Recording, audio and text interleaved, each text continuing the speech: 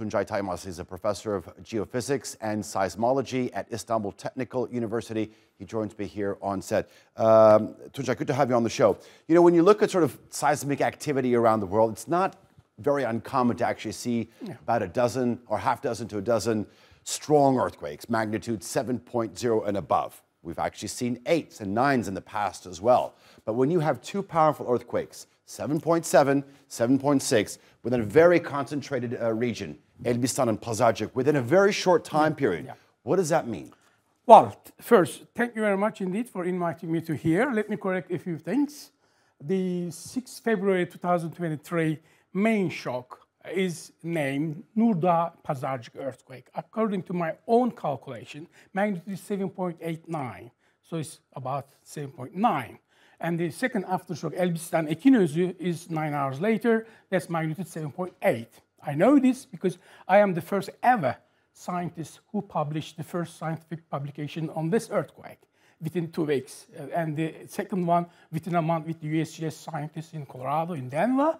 And then we, uh, within eight months, I've been able to publish almost about now is 16 scientific papers, including science and nature ones. These are mm -hmm. the mm-hmm. top journals in the yeah. scientific world. So I know these because I have processed all the available data sets on the ground using AFAD strong motion data sets, weak motions, near field, regional waveforms, teleseismic ones, and remote geodetic observations from satellites of NASA, Euro European Space Agency, China, and Japan. Okay, so and so this is a, a, crucial question because this is one of the strongest ever recorded in Anatolia in last century instrumentally because uh, we know that 1939 Erzincan earthquake 8.3 is the largest one, but we, we, couldn't record those by then. We didn't have enough knowledge on electromechanical seismometers, seismographs. that was just one earthquake. Yeah. This actually, we're within a nine-hour yeah, period. We do have a doublets, what we call earthquake couples, follows up within a a few hours, within a few days, within a few months, like we had experienced in 17th of August 99 and Gölcük and Düzce earthquake. That was 7.5 and 7.2 followed like within three months' time. And we did have doublet earthquakes in uh, but one, one, was over here, one was over yeah, here. There's yeah, several hundred kilometers. Yeah, We're talking about uh, a very it, it, it was, yeah, well, that was 100 kilometers apart, and here is we got more than that. Okay. But the Nurdağ was just a small branch of uh, fault triggered the other one. The, the, the, most exciting topic about this one, this was a super shear uh, rupture. It's about 5.2 kilometer per second rupture velocity above the shear waves, and it's ruptures about 400 kilometer in one length and about 200 kilometers at that whole area ruptured. 5.2 meters per second. Kilometer per second. Kilometers per second. Per second. Okay. Yeah, so that's huge one. So we do have similar earthquakes in Kunlun, in Altantau, in Tibet, in Himalayas, in some parts of San Andreas faults, but not a few in Japan.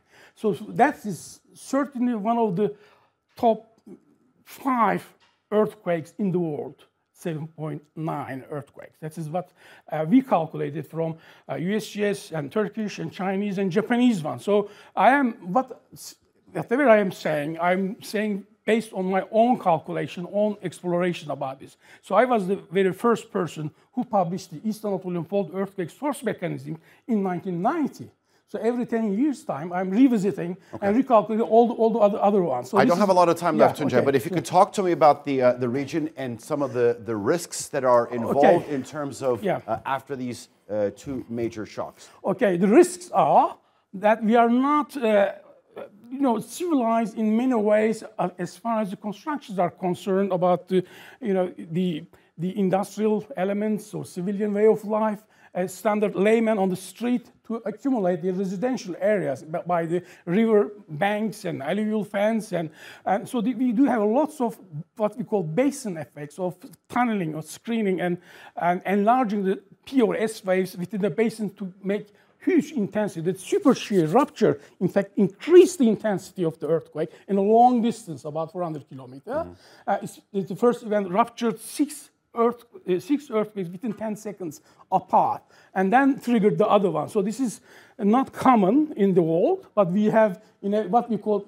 plate boundary faults like North Anatolian fault or East Anatolian fault, all Dead Sea fault zone down beyond the Samandağ to Lebanon, Palestine, Israel. That's going to be the, one of the next 7.5 earthquakes location to rupture to the south. Mm -hmm. So this, the danger is still there. Okay. Uh, we know where and how, uh, what type of mechanism is going to rupture, but we don't know the the, that toll. But that's uh, you know big question because we need to have early warning systems to you know evacuate uh, public and some other some, industrial. Some... But this is a long topic to discuss, and this is not a surprise for seismologists. It's a, just a natural way of life, and we knew it already in the last 50 years of studies based on our uh, exploration. Again, the, the reality of the region is, you know, it's, it's not uh, if it's going to happen, but when it's going to happen. But fa uh, fascinating research that you've done with the USGS in terms of yeah. uh, revising some of the stuff. Uh, yeah, but we did much better work with Japanese and Chinese ones mm -hmm. than the USGS ones.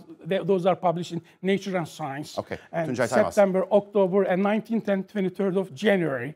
And it's the well-cited papers, and 16 papers. All it's right. a big record in this science. Well, thank you very much. Thank you very that. much for inviting me. All right.